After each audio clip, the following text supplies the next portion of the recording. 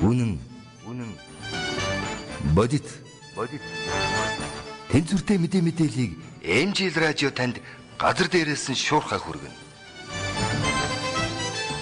MJL радио мэдээ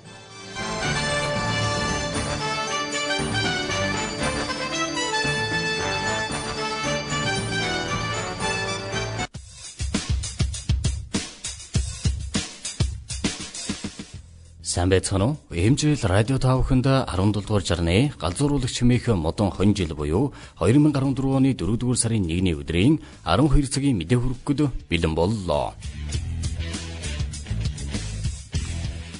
Дотоод мэдээ. Эрүүгийн 46 хэрэгтэй мөрдөн байцаалтын ажиллагаа явуулсан байна. Авилгатай тэмцэх газар 2015 оны 3 дугаар сарын 23-наас 27-ны өдрүүдэд шинээр гемт хэргийн шинжтэй 12 гомдол мэдээлэл хүлээн авч нийт 27 гомдол мэдээллийг шалгаснаас 1 гомдол мэдээллийг эрүүгийн хэрэг үүсгэх, 5 гомдол мэдээллийг эрүүгийн хэрэг үүсгэхээс татгалзах саналтаагаар прокурорт шилжүүлсэн байна. Энэхүү ажиллагаатай холбоотой 21 гомдол мэдээлэл шалгагдж байгаа ажээ. Өнгөрсөн 7 хоногт шинээр эрүүгийн нэг хэрэг үүсгэж эрүүгийн 46 хэрэгтэн мөрдөн байцаалтын ажиллагаа явуулснаас эрүүгийн 2 хэргийг яллах дүгнэлт үйлдвэрлэх эрүүгийн нэг хэргийг төтгөлзүүлэх саналтаагаар прокурорт шилжүүлж одоогор эрүүгийн 43 хэрэгт мөрдөн байцаалтын ажиллагаа гүйцэтгэж байгаа юм байна. Дараагийн мэдээ Экспорт импортын гэрчилгээг орон нутагт олгож эхэллээ.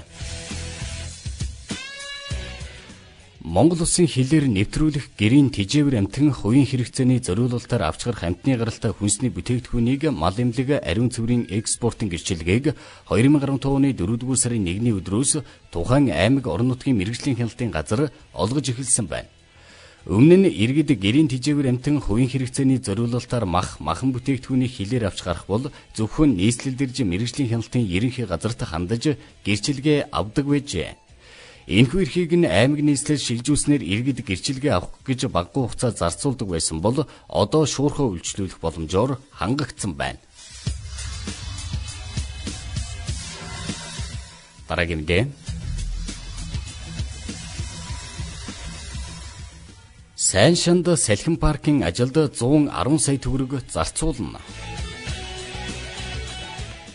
Сайн шандын салхин паркийн бүтээн байгуулалтын ажлын эхлэх ёслолын ажиллагаа өнөөдөр болж байна.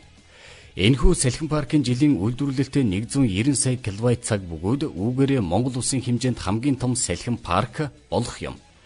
Салхин паркийн төслийн хөрөнгө оруулалт ойролцоогоор 110 сая ам доллар бөгөөд төслийн санхүүжилтийг олон улсын тэргүүлэх банк санхүүгийн байгууллагууд хийх юм байна. Дараагийн мэдээ Өнөөдрөөс 6 дугаар сарын 15-ны өдөр хүртэл загас агнахыг хориглоно. Жилбэрийн 4 дугаар сарын 1-ээс 6 дугаар сарын 15 хүртэлх хугацаанд загсны үржлийн үе бөгөөд дарагтын цагаан загас, буурийн нуурын загас, омойл, зарам, алтан суус загснаас бусад загсыг жилбэрийн 4 дугаар сарын 1-ээс 6 дугаар сарын 15-ны өдөр хүртэл агнахыг амтны тухай хуульд хориглосон байдаг байна. Хэрвээ тус хуулийг зөрчиж засварсан иргэнийг 1 сарын хөдөлмөрийн хүсний доод хэмжээг 2 дахин нэмэгдүүлсэнтэй тэнцэх хэмжээний төгрөгөөр хуулийн этгээдийн хөдөлмөрийн хүсний доод хэмжээг 5 дахин нэмэгдүүлсэнтэй тэнцэх хэмжээний төгрөгөөр тус тус торгоно гэж заасан байдаг ажээ. Дараагийн дэм Чингэлтэй харихныг 5 жил тутамд тахихаар болсон байна.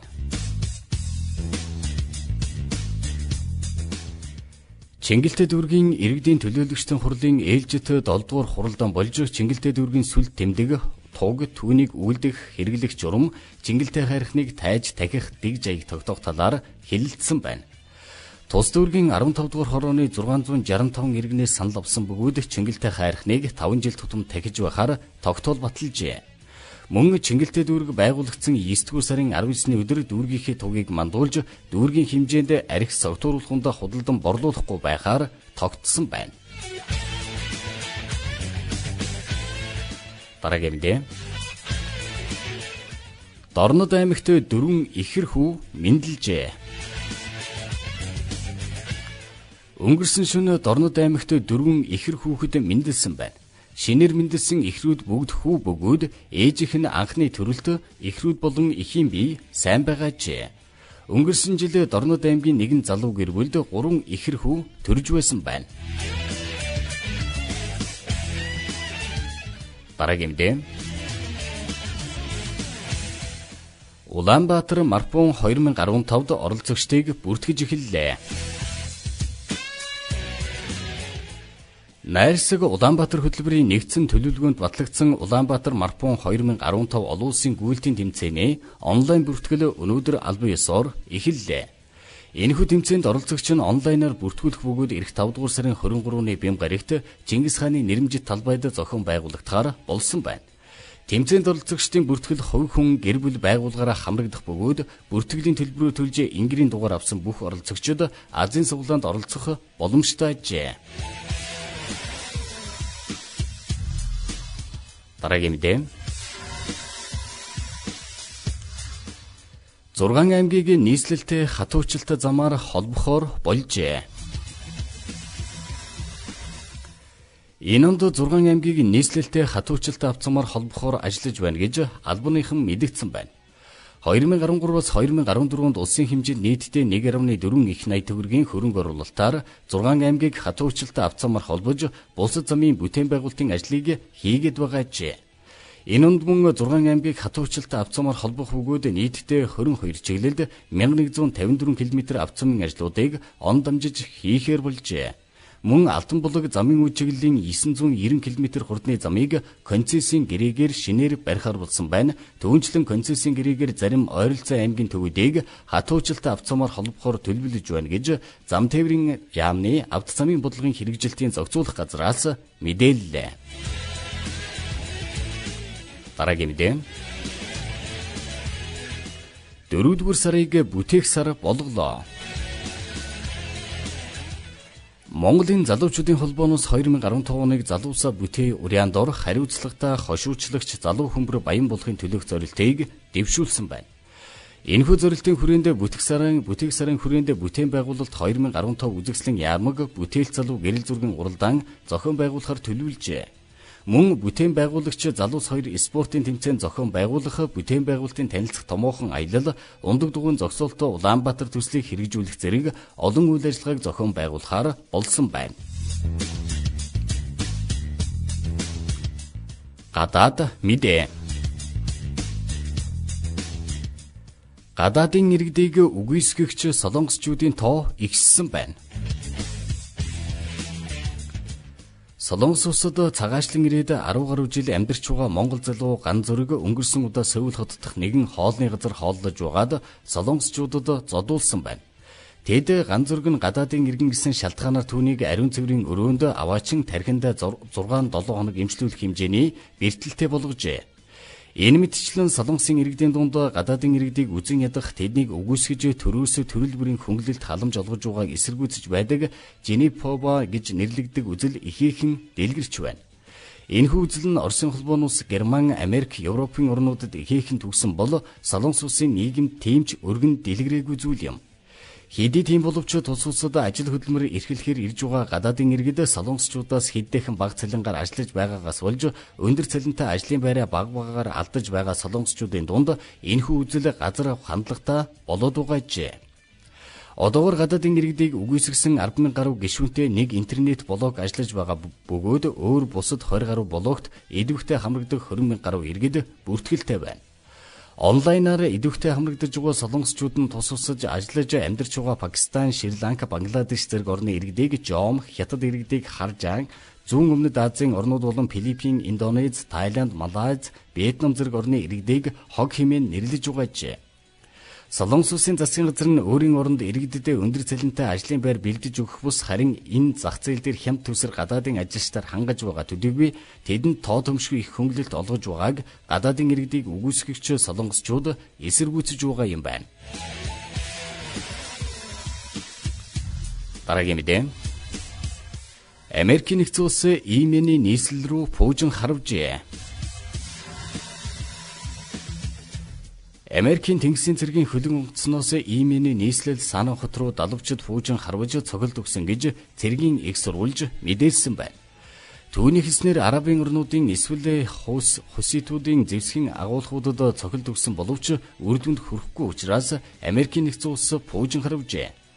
Америкийн зэвсэгтгүүчин ивмэнд болж байгаа байлдааны ажиллагаанд оролцоогүй боловч энэ ажиллагаанд логистикийн болон тагнуулын дэмжлэг үзүүлж байгаа гэж тус улсын эрх баригчид урд нь мэдгдсэн байна. Дараагийн мэдээ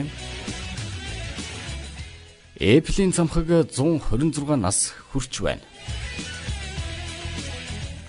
Одоогоос 126 жилийн өмнө алдарт Apple-ийн цамхаг анх олон нийтэд үүд хаалгаа нээж байжээ.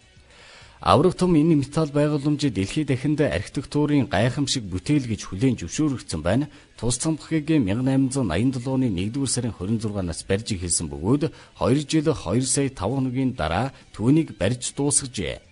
Apple-ийн цамхыг анх ердөө 20 жилийн настай гэж тухайн үед үзэж байсан байна. Парисын олон уран бүтээлч архитекторууд Apple-ийн цамхыг барихыг эсэргүүцэж байсан бөгөөд тэрч бацгаа эсэргүүцсэн өргөх бичиг барьж байжээ. Apple-ийн цамхыг жилд 7 сая орчим хүн үзэж сонирхдаг бөгөөд энэ нь дэлхийд дээрх хамгийн олон хүн очиж үздэг хөшөө дурсгал юм.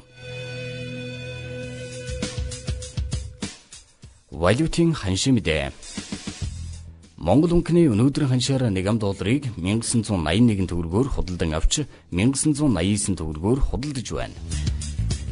Солонгос Korea Exchange Bank 1 долларыг 1083 буоноор худалдан авч 1122 буоноор худалдаж байна.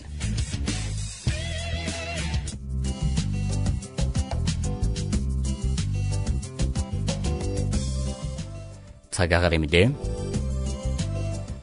Нутгийн баруун хагас төвлөрхөг нутгийн зүүн хагаст солигдмол үйлтэй баруун зүгийн нутгийн ихэнх төвийн нутгийн баруун өмнөд хэсэг говийн нутгийн өмнөд хэсгээр хурд тундас орно. Салхи баруун болон зүүн зүгийн нутгаар баруун хойноос бус нутгаар зүүн өмнөс секундэд 6-аас 11 м алдаан салбар уусаар секундэд 12-оос 14 м хүрч ширүүснэ Улс нуур болон дарагтын хотгор хөрөн бэлчээр иг өрөө тис голын сав газраар 1-ээс 6 хим, алтан өвөр говоор 11-ээс 16 хим, бус нутгаар 6-аас 11 хим дулаан байна. Улаанбаатар хотод үйлшин хурд ундас орохгүй өдөртөө 9 хим, шөндөө хасах 5 хим байна. Өдрийн наран 6 цаг 41 минутанд мандан 19 цаг 19 минутанд жаргана.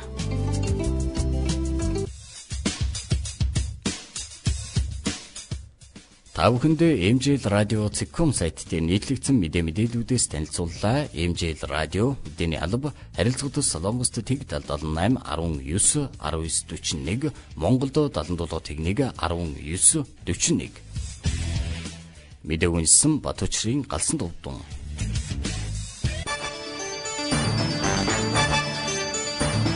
Үнэн.